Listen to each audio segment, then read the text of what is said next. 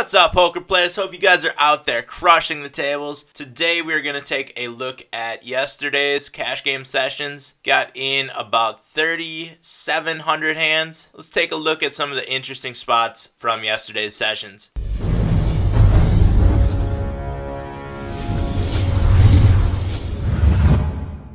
First hand we're looking at is Ace Queen on the button. We are sitting at a 100 NL table. We get an open raise from under the gun plus 1 to 2x, and we get a call from the cutoff. I just make a call here on the button, being in position against two recreational players. We have 180 hands on the player under the gun plus 1 and 73 on Charlie Cat to our right, folds through the blinds, and we see a flop in position against these two non-regular players. And flop top two pair. Checks to the cutoff, who bets $6, a little bit less than the pot. I just call here with top two pair. I don't want to give away too much on the value of our hand quite yet. And we get check raised by the under the gun plus one player. This one could wind up much like that hand a couple videos ago where we flop top two and we get beat by a set. And if that happens again, it's pretty rough, but what are you going to do about it that is a cooler, and especially when you're in a pot with a player who is a non-reg and has numbers like 42% raise pre-flop and 49 VPIP, we get a call from the cutoff, and now we're in a spot where we have a choice either to jam our chips all in into a 4750 pot. We've got 54 here and 89 in Charlie Cat stack. If we raise here, it's going to make it very expensive for a draw to get in, but they probably still would be getting pretty pretty good odds on a draw. So we can probably induce some mistakes when we raise here, especially from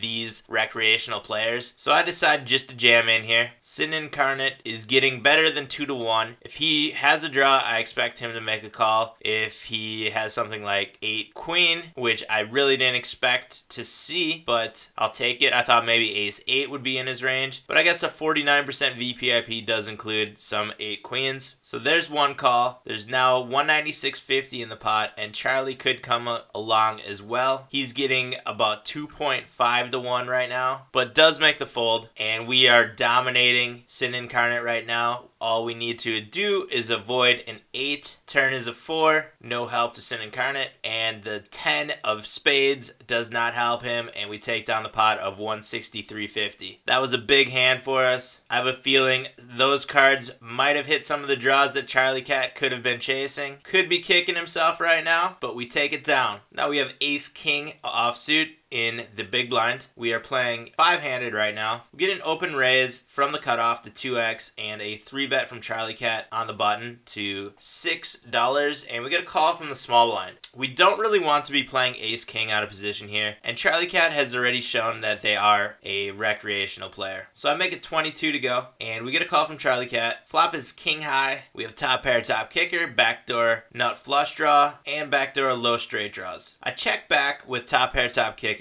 because it is a very strong hand against this player's range. And Charlie Cat puts in 2470 on the flop. I just call. Turn is the seven of clubs. I thought we had Charlie Cat pot committed right here and we could get him to pretty much chase anything. If he had any club in his hand, if he had any pair with a club, he would chase that as well. I could have checked back and I probably should have checked back. I think this was a mistake. He has a 71% bet on turn percentage. Instead, I jam all in, and he does make the fold. I now in hindsight wish I would have check called this turn. I don't really know what accomplish what that bet on the turn really accomplishes. Bit of a mistake there. I would have played it differently had I gone back. That's what you get when you're multi-tabling. I guess I just thought he was pot committed and he would be chasing any draw that he had there. Now we're at the 50 NL table. We have ace 5 of spades in the big blind. Under the gun open raises to 3x and we get a call from the hijack player. I make the call with ace 5 and we see a flop of 8 high, 2 tone, 2 spades. We have the nut flush draw and we have a lot of backdoor draws to straights as well as possible draws to an ace guys. Sin Incarnate again in this pot, checks back, and we get a bet from the hijack player. I put the check raise in right here with a semi bluff, nut flush draw, and we get a jam from Sin Incarnate. Back to us. We know that he's willing to put his entire stack in with two pair. There is $63 in the effective stack. We have 41 in ours. So we're getting about 1.5 to 1 odds right here. We're looking pretty good if he has any pair over the board or if he has two pair. We're not looking as good, but looking pretty decent to the flush draw. There's the chance he also has a flush draw, in which case we have him dominated. So I decided to make the call here and see that we were up against top set. Not a very good spot to be in, especially when he turns that fourth eight. Now we are drawing dead and we lose a pretty big pot right there to Sin Incarnate. He got some of it back. Now we have Ace Jack offsuit in the big blind at the 50 NL table again. Full drawn to the button who open raises to 3x. And we get a call from the small blind. I 3 bet here on the button. We get a call from the button and the small blind folds. See a flop of ace high, two tone, two spades on the board. Merkin Chief is a recreational player from what we've seen so far. There's only 39 hands on this player has a tendency to play quite a bit. Pre-flop, 28% VPIP. I just checked back with the ace high flop, seeing that he has a 57% bet on flop percentage, and he does bet. Pretty small though. I just call. The turn is the six of spades. The only part of his range that this really hits is the king, queen, queen jack, maybe 10 jack of spades. I think there's a lot of ace X of spades possibly in his range, so he could have a flush draw or a big flush draw now. So I check back. He bets 1250 and I just call here. And we hit top two on the river. He has 28, 24 in his stack. All of that money is going to get in the pot if we check and he bets with a flush. If he does have ace X, he can probably make a call here with that 28, 24. He might call with an underpair less than aces when we jam right here as well. We see that he has a 0%. So he's pretty much going to hold on to his entire range here on the river. And he has a 0% bet on river as well. So if he does bet, he's only going to be betting with hands that beat us. So let's try to get value from the hands that we have beat having top two pair here. And hands that beat us are only a small percent of his range. So I jam all in and we do get called with a set of eights, unfortunately, losing that pot, but I am not upset with the way we played it. I thought we played it pretty well. Let me know what you guys think about this hand and if you thought the thought process was sound or if I should have been playing this one differently. Let me know in the comment section below what you guys would have done in this situation. Now we have pocket nines at the 100 NL table, playing from under the gun plus two, open raise to 3x, and we get three bet by the cutoff. It is a min three bet. It's a $2 raise here, and I see that this player has only three bet 1.2% of hands, you guys. You know what that's going to be, right? Aces and kings. Especially when you see that min 3 bet from a short stack. You know it's a huge hand, it's a strong hand. So what do we have to figure out? Whether we get odds to stack this entire player. It's $2 to win a possible $50 here. That's 25 to 1 odds. We should be getting at least 15 to 1 for set mining. So I'm putting in the CTC play, the call to crack. Let's see that 9. Oh yeah, top set. Now this hand just got a lot easier to play. We know what he has, and we know we have him dominated. So we're going to let him spew out his entire stack here. Check call. Now we have a full boat. Check. He puts in 1650. He's only got 1968 left. No way he's going to be folding his aces or kings here. So I jam all in, and he does make a call. Have to avoid an ace on the river, and we do, and take down a pot of almost 100 bucks. Open up that 3 bet range, and maybe do a little bit larger of a bet next time so you're not giving me odds to call right there. Pocket queens in the small blind, open raise to 2.5x. From under the gun, we are currently six-handed at the 100 NL table. We get a three bet from the cutoff. The cutoff is very short stacked right now at 32.10 in his stack. I put in a four bet here with the pocket queens out of position. If we just call here, we're going to give Gargantua very good odds to call as well, and we are going to be playing out of position against him. So let's find out where we stand right now by putting in a 4 bet.